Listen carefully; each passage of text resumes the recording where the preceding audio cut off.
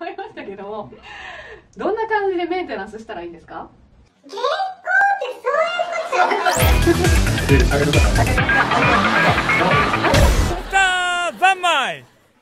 皆さんこんばんは。いかがお過ごしですか？ミュージックキッチン TV へようこそ。最近急に暑くなってきて半袖を出しました私は。というマナですがここで問題です。今日私起きてあることをしたんですがそれは何でしょうか？321はい。答えは動画の後で。それでは今日もレッツクッキン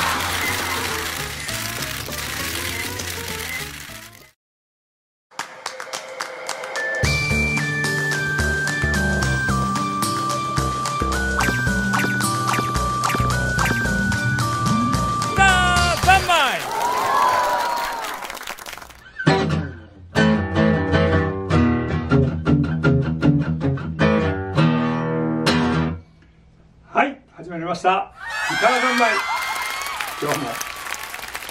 誰か来てくれへんかな。来たよたよ来たよありがとう。待ってた。やっぱり待待ってました。一人でね。はい。お店開けるのね寂しいからね、もうもう働こうかな。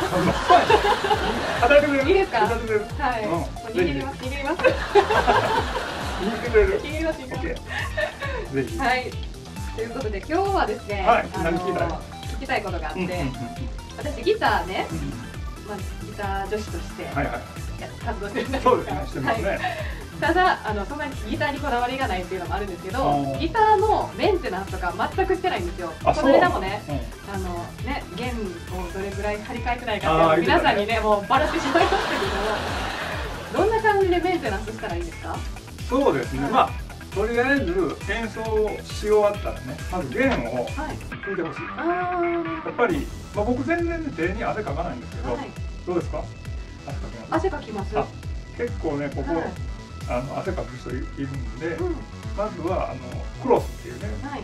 ギター専用の磨く布で弦の汗をこう拭き取ってもらって、はい。で欲を言えば、あのフィンガーイーズっていうねスプレーがあるんですね。あ弦磨くそれをこの布にシューってやってはい。磨いとくとうん。あの弦も長持ちしますし。汚れが取れる感じですか？それをね夏場とか特に汗かいたやつをうん。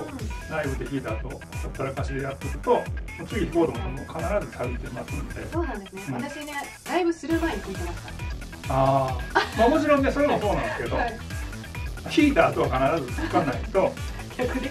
そうはい気をつけますなんかそう左のあれはね。あのちょっと錆びにくい弦を張ってるはいっていうのを聞きましたけど。まあそれもねはい。あの武将な人かもしれない。私に似た人は。エリックサエリクサエリクサの弦ははい。コーティング弦ってうん。弦をねあのコーティングして薄いねコーティングしてるんで錆びない。あんまり吹かなくても錆びにくいんですけど、まあ、それでもやっぱりこう磨いてあげてほしいなもう。そうですよ弦を打ったらね。ちょっと最近はちょっと物大事にしようと思ってるんで。そう。はい。やっぱりこう愛情を込めてはい。ちゃんと磨いてあげるといい音になってくれるけどはい。ほったらかしにすると多分ねいい音しないそうですよね。植物とかと一緒ですね。愛情をかけて皆さんギターを弾いてください。私も頑張ります。はい。あとはあの保管する時ねはい。なるべくあの温度が変わらない。でやってまあちょっとワンルームに一人暮らしだと帰ってきたらエアコンつけたら夏はねエアコンつけたら暖房するんでで外出ていくとまた温度下がるんでそういうこう温度上昇がね激しいところに置いとくとあんまり良くないから。でギネスに入れといた方がいいですか？いやあのね普段弾くんやらまだちょっといいと思う、うん、もうなんか半年とか1年弾かないんやったらもうケースに直してた方がいいけどまあ最低でもね1週間に1回ぐらい下がるんであれば全部出しててであとこのね弦もあの弾かない時はこう緩めた方がいいですかとかうん。いう人もいるんですけど、弾くんやったらもう緩める必要なくって、もう長期間弾かないんやったらまあ緩めておいといた方がそれはいいんですけど。それはなんでなんですか？やっぱりねこれあの実はここのね、あ見えないかこのちょっとカバーされてますけどはい。このネックの中にトラスロッドっていう鉄のねあの芯が入ってるんですよ。ねへでその芯とこの弦の張力でまっすぐに保ってるんですよね。ーこれがまあネックとして弦あればね。はい。でどうしてもこう弦の張力でネックがこう取ってくるんですね。あそうなんですね。これを順反りって言うんですけども。えー、だからこの辺はいいんやけどこの辺で聞いたらえらいなんか弦の弦高がね高いなとかちょっと抑えにくくなってきたなっていう時は必ず沿ってくるんです原稿ってそういうことなんですね。この高いなとか、ちょっと抑えにくくなってきたなっていう時は必ず沿ってるんです。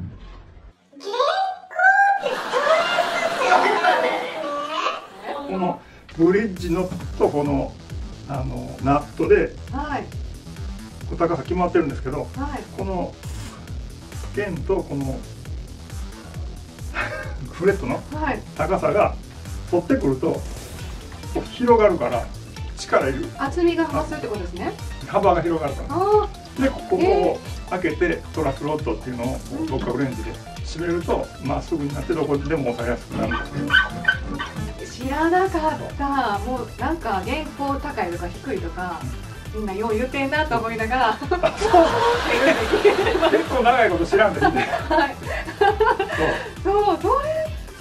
やったんですよめっちゃ勉強になったそれをちゃんとするとまっすぐにするとめっちゃ引きやすいですただそのー弦を緩めたり張ったりするとうんもうここのネックが緩んだりしまったり緩んだりしまったりしてね。だんだんこう反りやすくなる。まあやりすぎもじゃあダメなんですね。一定の力で張っててでまあ絶対反ってくるんですよね。それをこう締めてまっすぐにするともうそれで落ち着くので。へー。面白い。だからねあんまりあの緩める必要ないです。